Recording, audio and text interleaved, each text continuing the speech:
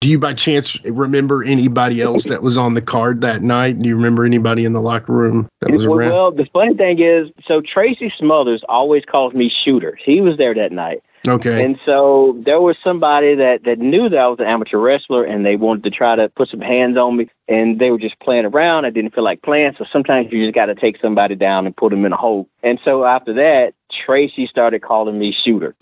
That's awesome. This has been a James Rock Street production.